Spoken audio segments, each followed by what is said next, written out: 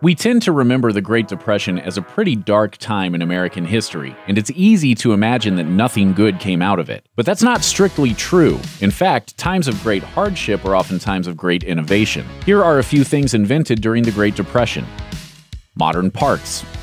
Politicians in the 1930s believed that the best way to drag the country out of the Depression was to put people back to work, so they devised a whole bunch of programs to make that happen. One of the most successful was the Civilian Conservation Corps, a program which put 3 million young men to work as conservationists, both building and maintaining the nation's parks. The CCC only lasted nine years, but at one point it employed 5% of the male American population. It was because of their efforts that we enjoy national and state parks as we do today. Some of the trails, campgrounds, and national park structures you've likely visited were originally built by the CCC. And the Corps was also responsible for over half of America's reforestation efforts, planting more than 3.5 billion trees to replace those lost to forest fires, farming, lumber operations, and erosion. The Civilian Conservation Corps was defunded in 1942 largely because the money needed to be rerouted to the war effort, but it became the model for similar conservation programs that still operate today.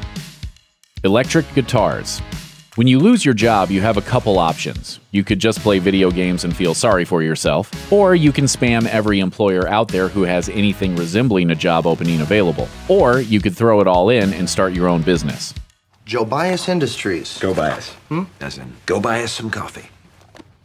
It's great. Looks good. Given the lack of the first two options during the Great Depression, the latter was often the only choice anybody had. That's what led Leo Fender into starting his business at the tail end of the Depression. After losing his government job in 1938, he decided to pursue his lifelong interest in electronics and opened a radio repair shop, then going on to build amplifiers for local musicians. He later partnered with Doc Kauffman to build an electric lap steel guitar and by 1950, the Fender Musical Instruments Corporation was selling the first mass produced electric guitar, the Fender Telecaster. You can probably guess what happened next. Stars like Jimi Hendrix, Buddy Holly, Stevie Ray Vaughan, and Mark Knopfler all bought Fender guitars, and that's by no means an exhaustive list. Fender himself died in 1991, having never actually learned to play the instrument he spent his whole life building and perfecting.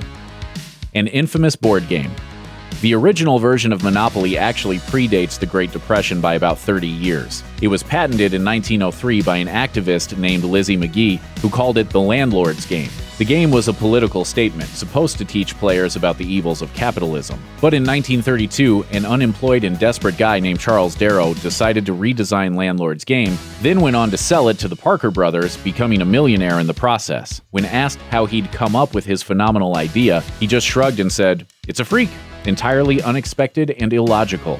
In many ways, Monopoly became a hit because of those hard times. It was a way for the destitute to escape the unfortunate reality of their lives and pretend to be rich for just a couple of hours. Canned meat. Spam was invented in 1937 as a way of selling unpopular cuts of pork. But even during the Great Depression, people weren't too keen on the idea of canned, unrefrigerated meat, despite the fact that it was an inexpensive and fast way to get food on the table. As a result, Spam didn't really begin to grow in popularity until World War II. What do you mean? I don't like Spam! Spam, Spam, Spam, Spam,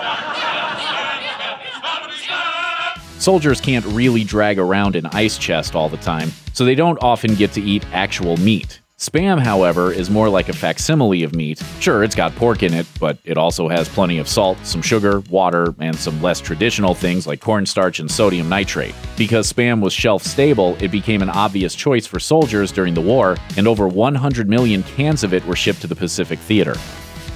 The economy.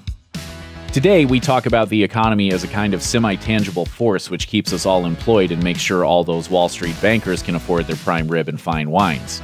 But the notion of the economy didn't really exist until the Great Depression. When the Great Depression struck, things just sort of went bad, and no one could really pinpoint the reason why. At some point during the American government's mad scramble to figure out how to fix things, someone came up with the idea of national income, which was just a way of expressing the value of goods and services America produces. Today we call it gross domestic product. People loved this idea because it was a gauge they could use to understand how bad things were and whether they were improving. I recently invested in some shirts I got at a garage sale. Left those at Wendy's on the way home.